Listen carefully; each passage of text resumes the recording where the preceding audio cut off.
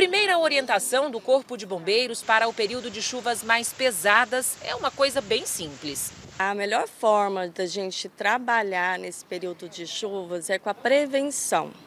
E como que a gente pode trabalhar com prevenção? Nós temos é, o número 40199, em que a Defesa Civil manda alertas de chuvas, inundações, ventos fortes, alagamentos, enxurradas. E isso pode ser muito importante para você fazer um planejamento daquele dia. Os motoristas precisam estar cientes sobre os locais que costumam alagar quando as chuvas são mais constantes e evitar passar ali.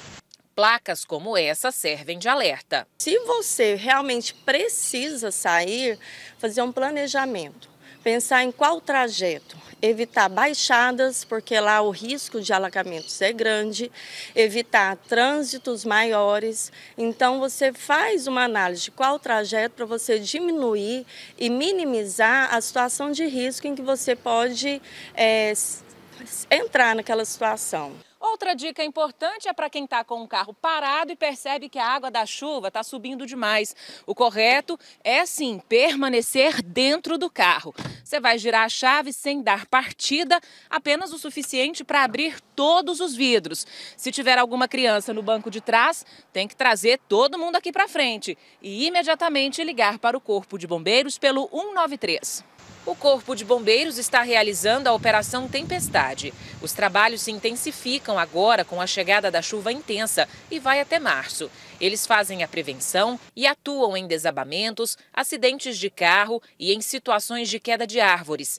Nesse período, os pedestres também precisam estar atentos. Se for fazer algum deslocamento que seja próximo das paredes, não fique no meio de uma calçada, no meio de uma rua, você não sabe se tem um buraco ali, um bueiro é, aberto, você corre um risco muito grande de ser levado pela correnteza, não corra esse risco, não avance também, mesmo sendo pedestre. Quem anda de moto deve evitar ruas alagadas. Em março deste ano, essa moto foi arrastada pela força da água da chuva. A motociclista precisou de ajuda para sair da enxurrada. A previsão é de que nesta sexta-feira volte a chover.